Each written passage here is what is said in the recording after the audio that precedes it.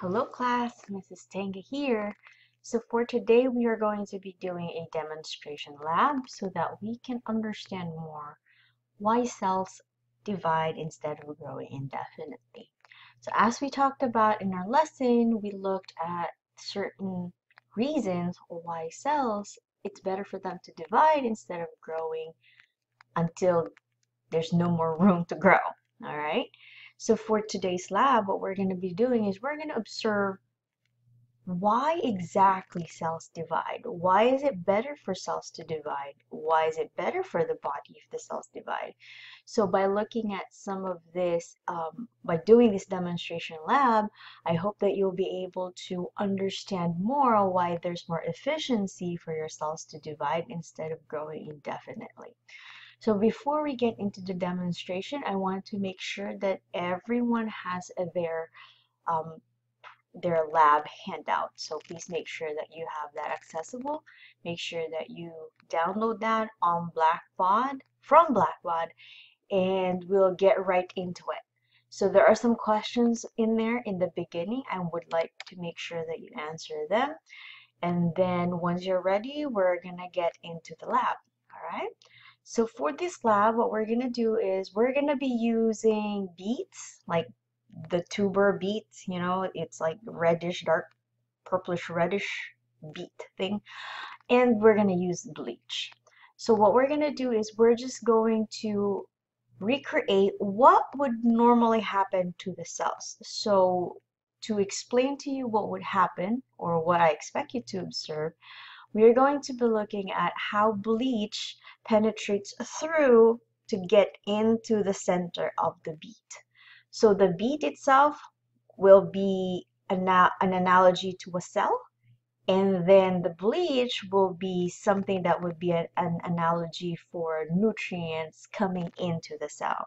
I'm going to explain more on that in a little bit, but I just want to give you an idea of what we're going to be doing. All right. So as you watch this video, you're going to be seeing the actual experiment that I did in my home.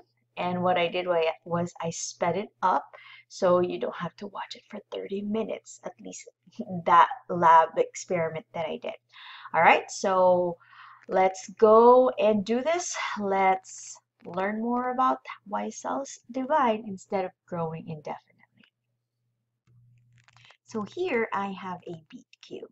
All right, so it's a cube, it has six sides, and I tried my best to make sure that each side it has the same length, width, and height. All right, so for this beet cube, I'm going to first measure and make sure, I hope that you guys have your um, worksheets accessible. So here, I'm going to measure the side of each of the cube. So as on this, you can see that I measured each side as 2 centimeter. Okay, so A is the area. So the first thing we need to look for is what is the surface area of the cube? So using A, we have the formula 6 a to the power of 2. So what I want you to do is use your algebra um, skills. I want you to go and plug 2 onto the a and then square that and then multiply it by 6. We're also going to be calculating the volume using the formula a cube. So what we're going to do right now is I would like you guys to calculate this, all right, and we're going to put that on the paper. After that, we're going to look at the surface area to volume ratio, all right? So I want you to simplify it. So I showed this in class, so I hope you're able to do that as well. So I want you to enter all of those data on your handout, all right? So I'd like you to pause this video and do your calculations and enter your data on your worksheet.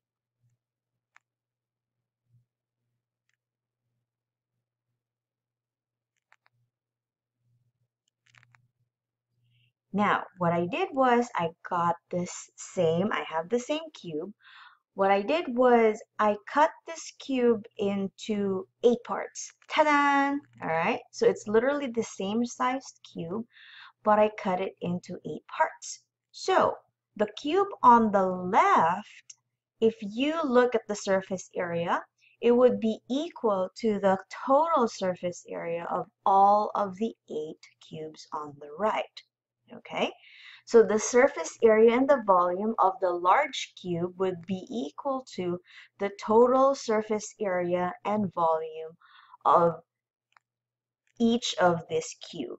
All right, so I have eight cubes in here. So what I'm showing you right now is we're going to try and see if the function of a big cube would be as fast as that of eight individual cubes. So here I have all eight cubes, all right? So for each cube, the surface area and the volume would be the same. So I want you to calculate the surface area for each cube, but since they're all the same, you don't have to do repetition on that one. So your formula is all right, I'm going to show you in a bit. So we also need to look for the volume of each of the cube.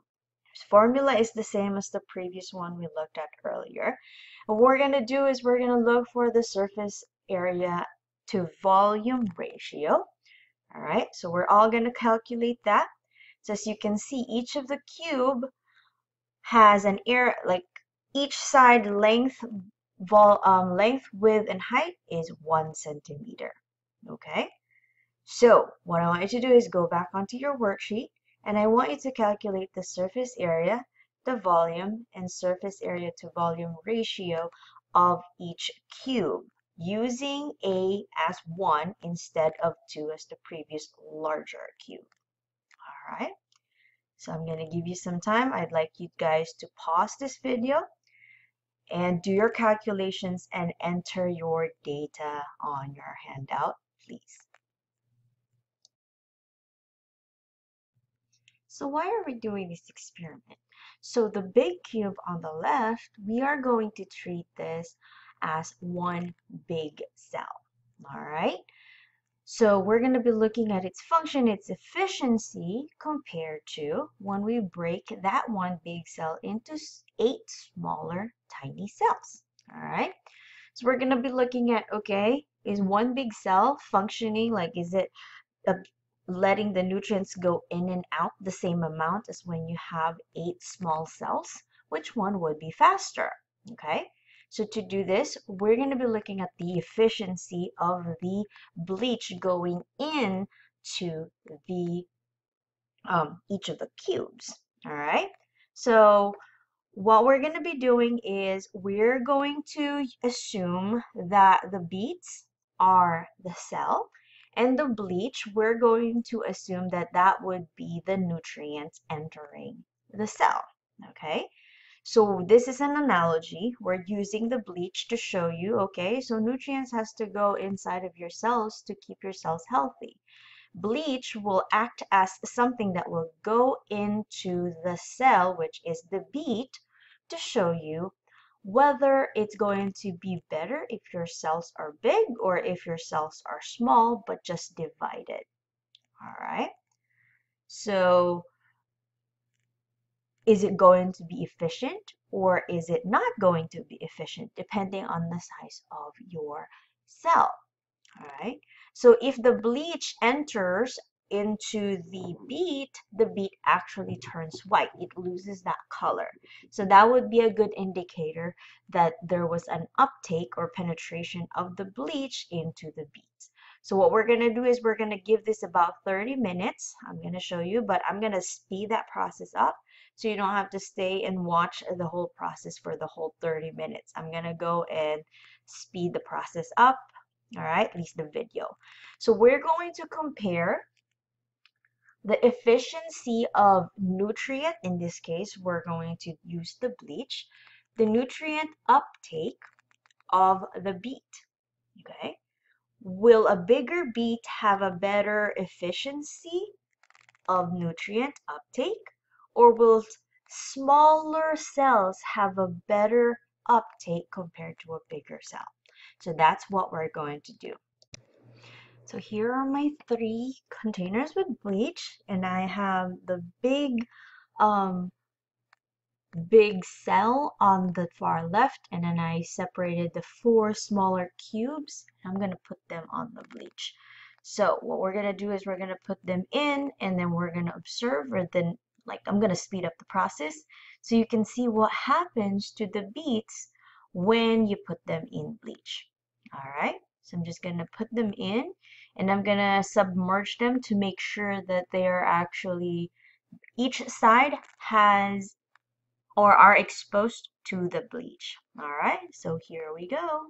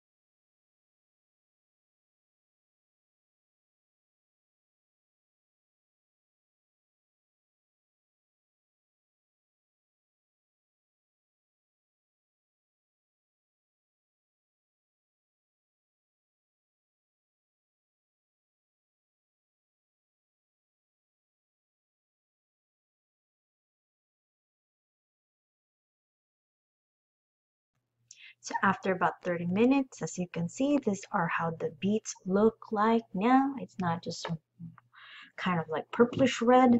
You can see that now they're covered with white stuff. So now what we're going to do is we're going to try and look at cross section. We're going to cut them through to see exactly what happened and what the bleach did to the beet.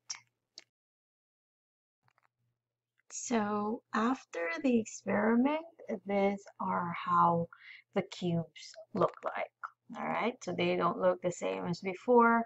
They're now covered with this white stuff on the outside. It's still the beet, it's just it removed the dye. That's what bleach does. If you get bleach on your clothes, it removes the color. So that's pretty much what happened. So what I did was to show you exactly how the bleach penetrated through, I cut each of those beads, okay? So as you can see, you can see the middle is still red, the outside or the sides are white. So to figure out how much bleach entered or penetrated through the bead, what we are going to do is we're going to measure the existing colored part, okay? So prior the large beet had a length of 2 centimeters, but after this experiment, instead of 2 centimeters, the area actually went down to 1.7 centimeters. So what that means is the red color has decreased because the bleach has penetrated. Now if we look at each of the smaller ones, it was originally 1 centimeter for the length, the width, and the height. But now after the experiment, the red colored part is now just 0.6 centimeters. So this shows that the beet, the bleach actually penetrated through. So this two are your after for the large beet and the small beet. And just to remind you, the before, okay, so for the large beet, the before the um, the sides were about two centimeters, and for the smaller beets, it was each side was um, one centimeter. Okay. So now from this data, I would like you to go and calculate further the needed information on the handout. So we need to find out what percent of the area changed and how much volume changed as well as a result of the bleach being penetrated. And what we're going to do is we're going to compare um, the efficiency. Which one has the transport, which one transported the bleach into the beet faster? Is it the small, um, the small beet or the large beet? And we're going to um, relate this to the cell. So that's our demonstration lab. So I hope you are able to complete all of the spaces on the data sheet and answer the questions. And I hope that you are this lab has allowed you to understand better why cells divide instead of grow indefinitely. So make sure that you finish this and submit this no later than Friday, this coming Friday. All right. I'll see you on Wednesday in class. Have a good day.